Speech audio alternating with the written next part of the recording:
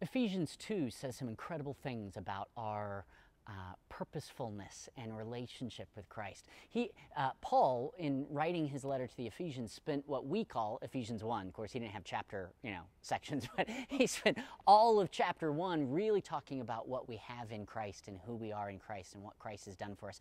And his prayer at the end of chapter 1 is not that we would have more from God or more of God, but he actually, at the end of chapter 1, is saying that we would begin to know. He's praying that we would begin to know. We'd have eyes opened and revelation to know all that we already have of Christ and from Him.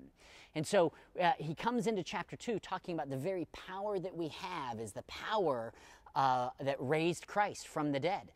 And he comes to verses 8 through 10 and he says, For it's by grace that you've been saved through faith, not of works, lest anyone should boast. The whole purpose uh, coming through chapter 1 and into chapter 2 he's talking about the grace of God for God's glory, that it would all be to the praise of the glory of God's grace. That what God has done, only God could do, and as it's made manifest in our lives, it would speak of Him and not of us. It's to the praise, all of it, everything that we've received, everything that God has done, everything that He's doing in our life today is meant to be to the praise of the glory of His grace to us, that His riches in love and kindness to us would speak of him, not speak of us. It wouldn't make us more competent, it would make him more glorious in the eyes of the people around us.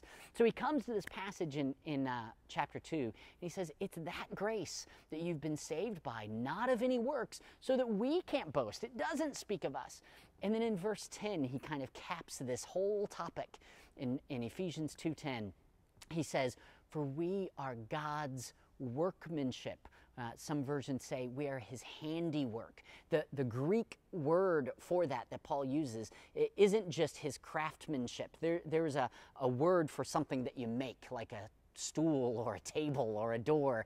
And he doesn't say that. He, he uses the word poema, P O E M A. It's the, the word we get poem from. It, it actually means a masterpiece or a, a master work of art. We are his artistry the life that we live is meant to be a canvas on which the circumstances, that canvas that he's working on, he's creating art, and we're not what he's working on. We're not the canvas. We're already a finished work. We're complete in Christ. We have all things in him. Paul's prayer is that we would know what we've already got.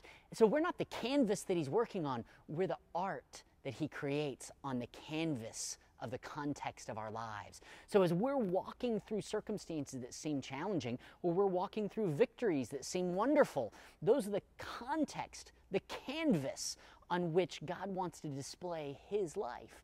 He's put us and made us to look wonderful in terms of His grace for His glory and the canvas, the circumstances, the context in which He has placed us.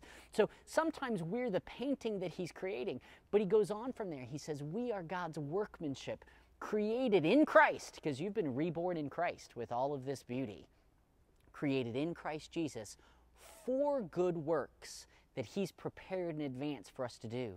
So sometimes we are the work of art that he's working on, but it turns out that the work of art he's creating is actually an instrument for him to work on someone else. That he's creating of you a work of art like a beautiful piece of pottery or an artist's tool or an engineering marvel so that he can use his artistry of you in the context of your life to be useful in his artistry in someone else's life. It's kind of like saying sometimes you're the canvas and sometimes you're the brush. He's created a masterpiece of your life so that your life will speak of his life by his grace for his glory in the lives of the people around you. And the work that he's called us to is not for us to accomplish, but for us to walk in as he accomplishes that same artistry, that same masterpiece in different contexts, on different canvases of other people's lives. God is not calling you to accomplish great things for Him. He's calling you to walk in His grace and sufficiency as He accomplishes great things